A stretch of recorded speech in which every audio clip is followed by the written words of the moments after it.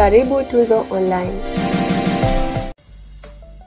Mabao mawili ambayo yalifungwa na Medi Kagere pamoja na Pape Osman Sako yaliweza kuivusha Simba hatua ya fainali ya Kombe la Mapinduzi ambapo sasa watakutana na Azam FC ambao wao wamewaondosha mabingwa watetezi Young Africans kwa jumla ya penati tisa kwa nane. Kagere alifunga bao hilo dakika 15 huku Sako akifunga dakika 48 dhidi ya Namungo na mechi kumalizika kwa Simba kushinda mabao mawili kwa sifuri kwenye uwanja wa Aman kisiwani Unguja.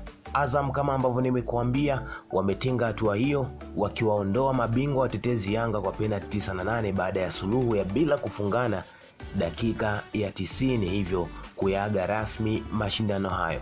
Katika mchezo huo ambao Simba walishinda, Simba walionyesha dhamiria ya kutinga fainali kutokana na namna ambavyo wachezaji wao walivyokuwa wakipambana kulishambulia lango la wapinzani huku wapinzani wenyewe wakifika langoni kwa kushtukiza. Na Sako, mmoja kati ya wachezaji makini na wazuri kwelikweli, ndiye ambaye aliibuka kama mchezaji bora wa mechi hiyo akipewa shilingi milioni moja na wadhamini wao, huku mchezaji wa Namungo Frank Magingi yeye akizawadiwa shilingi laki tatu kwa kuwa mchezaji mwenye nidhamu ya mchezo, yani fair play. Sasa baada ya mchezo huo na Yanga kuondoshwa huku Simba na Azam wakitinga hatua ya fainali, bila shaka kila mmoja alikuwa akisubiria Manara atasema nini baada ya mechi ya Simba na Namungo kuisha. Aliweza kuposti picha ya Kibu Dennis akiwa anatuliza mpira kwenye kifua huku akiwa anakabwa na mchezaji wa Namungo